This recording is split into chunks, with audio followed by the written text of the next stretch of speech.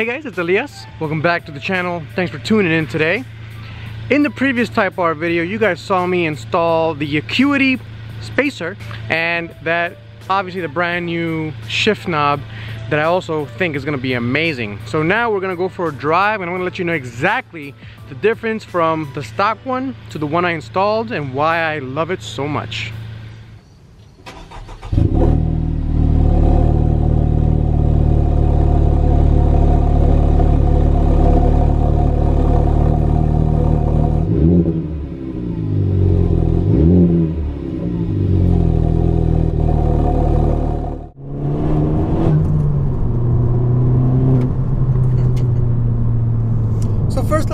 Pedal spacer, the Acuity pedal spacer.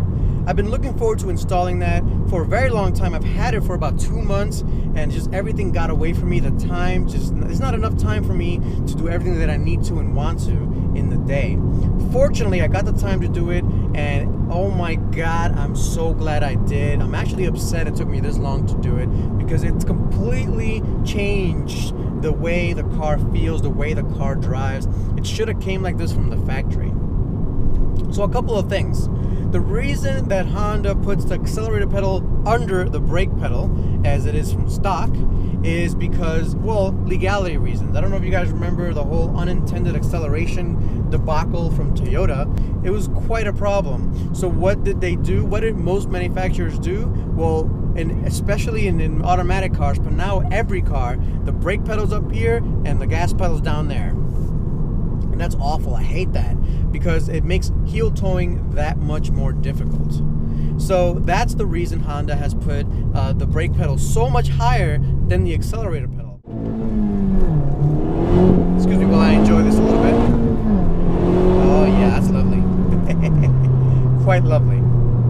It's just the where the brake pedal is and the accelerator pedal is, I can I can pivot my foot so much better, so much easier than it was before. So needless to say, after putting the pedal spacer in, I've been taking every opportunity possible to drive the car.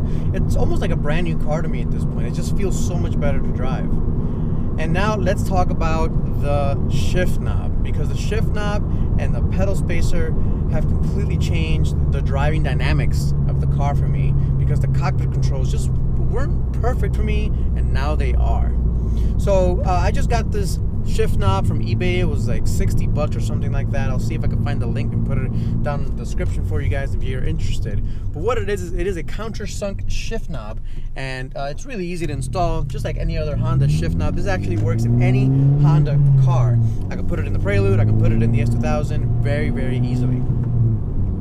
So uh, it's a countersunk shift knob. So I could I could have put it two different ways. I could have taken out the the shifter nut that this has, the nut holder, and I could put it really, really, really down low, and it'll kind of give me a shorter shift than it came from factory. I don't think that would have been good because the, sh the, short shifter already stocked from the factory is more than good enough. And honestly, I think it's too short.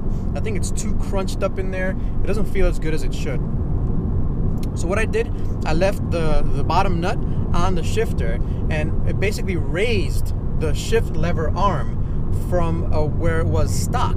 So if you remember the stock Type R shift knob is a little ball that goes on top of the, the little screw nut and it felt good and you know I can't complain. It really, it really does uh, feel good to the hand but it just wasn't perfect for me. It just wasn't you know it wasn't all there for me this is much improved. First, because it weighs more, so it has a more positive, engaging feeling.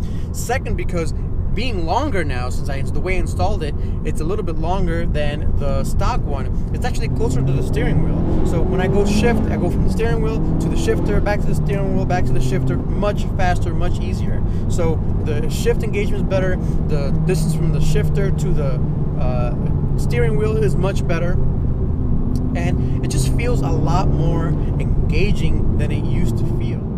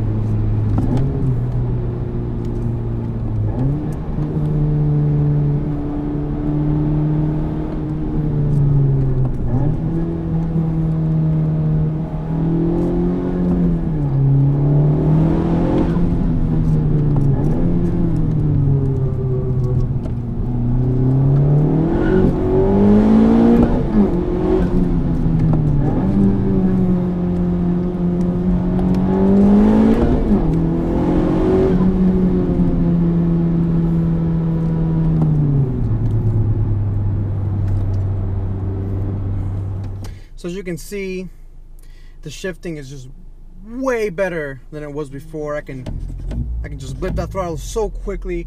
I don't even have to think about it.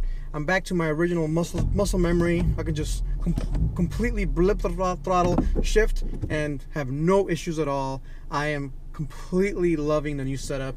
I can't wait to take this out to the track. Now before I do, of course, there's a lot more modifications I have to take.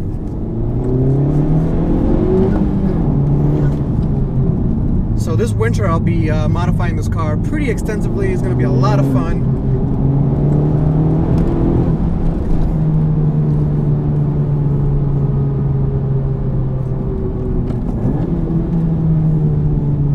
Cannot wait to do it.